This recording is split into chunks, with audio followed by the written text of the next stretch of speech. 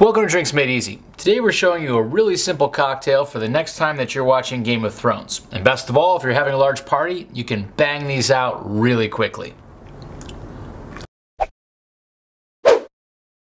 To build your White Walker, you're going to start with one and a half ounces of RumChata.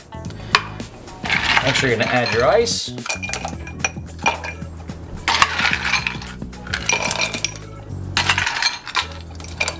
Top it with cream soda of your choice.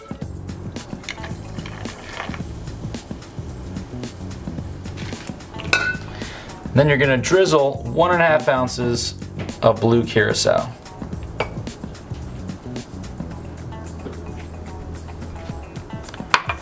And there you have your White Walker. So Game of Thrones fans, who do you think's gonna stop the Night King? How far south is he gonna get? Is Jon gonna kill him, or is Khaleesi gonna ride in with her three dragons and like a badass fry them all? Let us know what you think. Cheers from Drinks Made Easy.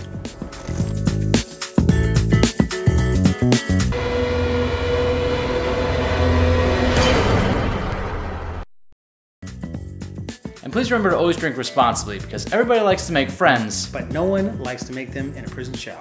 We're gonna need to do another one of that. That was perfect. No, it wasn't.